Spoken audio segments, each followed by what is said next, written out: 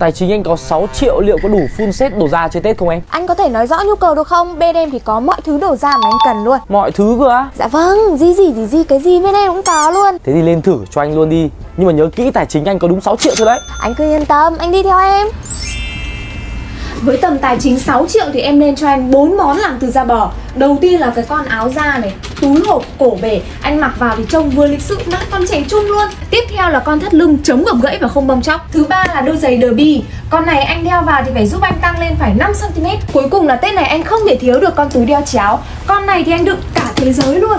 Ok nhưng mà từ nãy là anh thấy em tư vấn là hình như là đang thiếu quần da đúng không nhỉ? Hiện tại thì bọn em chưa phát triển sản phẩm quần da. Nhưng mà nếu anh thích thì bọn em cũng đáp ứng mọi nhu cầu khách hàng luôn. Hay là anh có thích không để em lấy số đo luôn này? Thôi anh trêu thế chứ mặc quần da để nhìn giống ca sĩ à?